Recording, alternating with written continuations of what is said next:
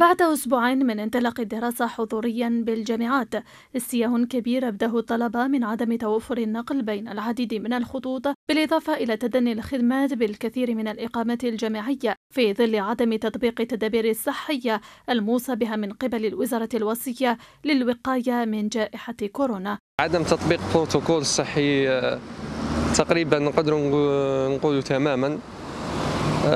غياب المعقمات يوم كاين خمسة مكاش آه، في الغرفة من ثلاث إلى أربع أفراد. نشهد نقص فادح في عدد الحافلات في بعض الخطوط وغياب بعض الخطوط الأخرى. مثلا كغياب خط القبة بومرداس آه، باب الزوار القبة. تحدثت الوزارة عن 25 طالب في الحافلة. شاهدنا في العاصمة والمشهد أمامكم 50 و60 طالب في حافلة واحدة. تحدثنا عن الوجبات الجاهزة أو الأواني المستعمل مرة واحدة.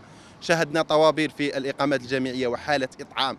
كارثية تحدثنا عن النظافة وعن التعقيم. وجدناها أسوأ مما كانت عليه. وبما أن موعد الدخول الجامعي الرسمي سيكون في الثاني والعشرين نوفمبر المقبل يطالب الطلبة من الوزارة الوصية ضرورة تدارك النقائص المسجلة على مستوى المؤسسات الجامعية خاصة في ظل استمرار انتشار وباء كورونا. إحنا ماذا بينا؟ ماذا بينا؟ الوزارة. الوزارة الوصية تدي إجراءات اسمها أكثر صرامة لأنه لأنه الاقامه الإقامة مش راح تحمي مش راح تحميك الطالب مش راح تحميك الطالب والجائحة ما زالت مستمرة والدخول الجامعي جديده وقريب. إذا استمر الوضع على حاله حتى في الحالة العادية سيعيش طالب آه، أزمات. ولا قدر الله استمر الوباء ستكون نتائجه وخيمة وخيمة جدا على القطاع. الظروف التي عاشها الطلبه الجامعيون خلال فترة العودة التدريجية للدراسة تنبئ بدخول جامعي صعب يفرض على الجهات المعنية. إعادة ضبط برنامج محكم يضمن دخولا جامعيا ناجحا يتماشى مع الوضع الصحي الراهن